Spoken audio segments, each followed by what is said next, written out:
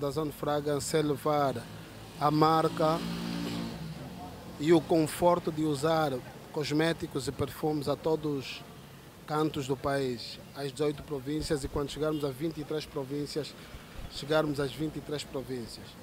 O grande propósito é fazer com que todo jovem tenha uma forma confortável e saudável, refrescada de se apresentar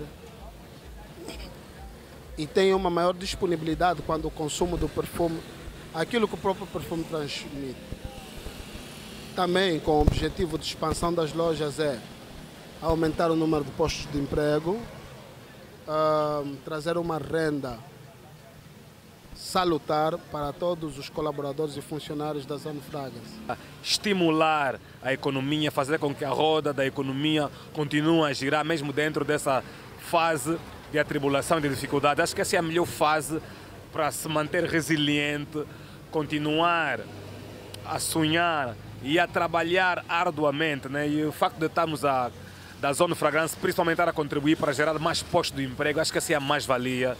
E a missão da Zona Fragrance crescer. O pessoal que vem aqui a trabalhar é mesmo local e cada loja tem uma estimativa de 8 a 10 funcionários.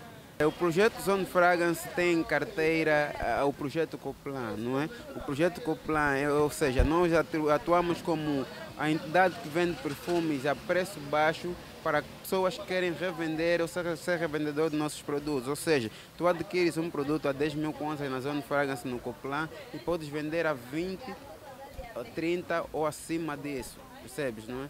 Então, mesmo que tu não um emprego, não tenhas um emprego, tu tens um trabalho, percebes?